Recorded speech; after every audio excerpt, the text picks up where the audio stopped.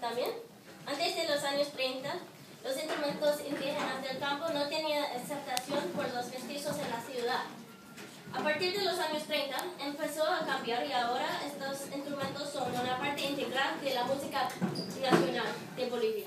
Instrumentos ah, como la guitarra, la mandolina ah, y los instrumentos clásicos como el violín, el clarinete la flauta y como el saxofón, la tuba y la trompeta son comunes en la música mestiza. Ah, estos instrumentos de banda están aprendidos durante el servicio militar de los hombres jóvenes.